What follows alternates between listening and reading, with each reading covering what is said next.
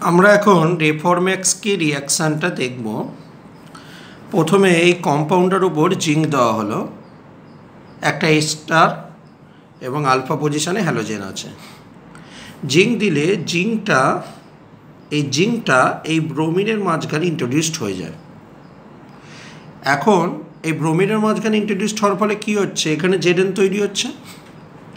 ফলে ব্রোমিনের charge minus জিঙ্কের চার্জ টু প্লাস এবং এই যে কম্পাউন্ডটা পুরোপুরি রয়েছে, এইটা হলো কি একটা মাইনাস চার্জের ওকে মানে এটা একটা অর্গানোমেটালিক কম্পাউন্ড এরপর মনে করো একটা কিটোন নিলে, তখন কি হবে?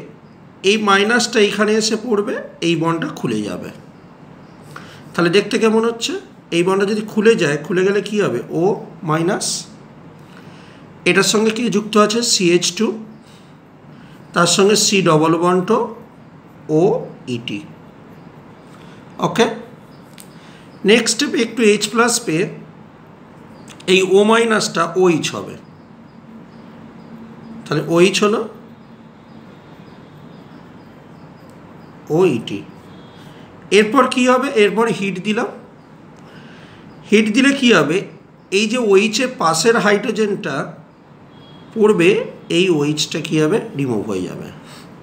তাহলে রিমুভ হয়ে গেলে কেমন দেখতে হচ্ছে এখানে? Double bond CH C double bond O ET এরপর তুমি কম্পাউন্ডটাকে হাইড্রোলিসিস করো। হাইড্রোলিসিস করলে কে যুক্ত একটা এইচ একটা ওইচ এই ওইচ আর এইচ ব্রেক করে দাও ওইচটা এর সঙ্গে যুক্ত হবে এইচটা এর সঙ্গে যুক্ত হবে। তাহলে কেমন দেখতে হচ্ছে? সিএইচ সি ডবল বন্ট ওইচটা এই কার্বনের সঙ্গে যুক্ত হবে। ওইচ প্লাস এইচটা এর সঙ্গে যুক্ত হবে। এইচ ও ইটি তার মানে আমার আলটিমেটলি প্রোডাক্টটা হলো, এই প্রোডাক্টটা হচ্ছে আমার তৈরি। এটা কী রিয়াকশান ডেফরম্যাক্সকে রিয়াকশান এখন তোমাকে অন্য একটা কিছু দিয়ে দিতেই পারে, দিয়ে তোমাকে প্রোডাক্টটা জানতে চাইলো যে কি তৈরি হবে। মনে করো তোমাকে এরকম একটা দিল যে CH two BR CO two ET তাকে বলল যে, জিঙ্ক দাও জিঙ্ক দাও আর ফর্মাল ডিএইট দাও। তা বলে হিট, তারপর হাইড্রোলিসিস করো। তাহলে আমি একই রকমভাবে করব। জিঙ্কটা কী হবে? এই ব্রোমিনের এখানে ইন্ট্রোডিউসড হবে। তাহলে প্রথমে কী হবে? Z N BR CO two ET এটা টু প্লাস চার্জ ব্রোমিনের চার্জ হলো মাইনাস তার মানে এইটা হলো মাইনাস চার্জ তার মানে এই কম এইটা নিয়ে আমার কাজ হবে। এবার কী হবে? একই রকমভাবে ফর্মাল ডিআই নিয়েছো। সিমিলারিটিটা লক্ষ্য করার চেষ্টা করো। মাইনাসটা এখানে পড়লে এটা বেরিয়ে গেল। তাহলে এটা দেখতে কেমন হচ্ছে?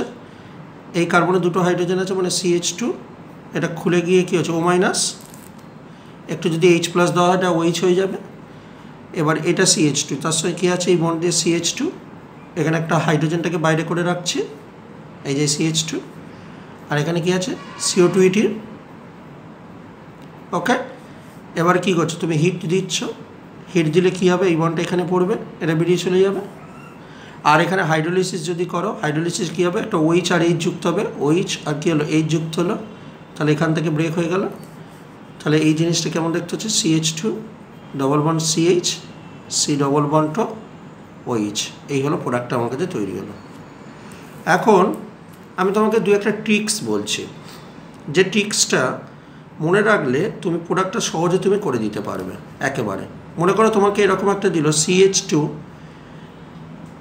CO two ET তাকে বলল যে PH C double bond H তার আগে জিঙ্ক আছে, তারপর বলল হাইড্রোলিসিস এবং বলল হিট কী হবে? তো এই প্রথমে দেখো, এই যে জিনিসটা আছে, এই জিনিসটাকে তুমি সাইডে লিখে নাও। সাইডে লিখবার সময় এই কম্পাউন্ডটার এই যে এর মধ্যে একটা হাইড্রোজেন কম করে লিখে নাও।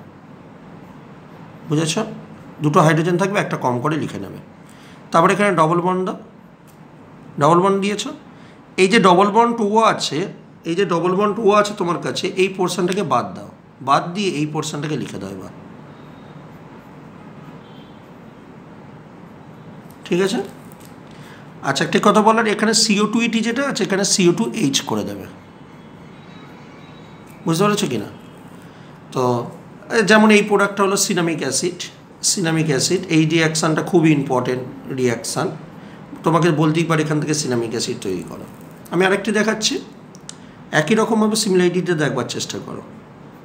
মনে করো সিএ টুইটি দেওয়া আছে। মনে করো এখানে বলেছে জিঙ্ক আর কি আছে? অ্যাসিটাল ডিআইড নেওয়া হয়েছে।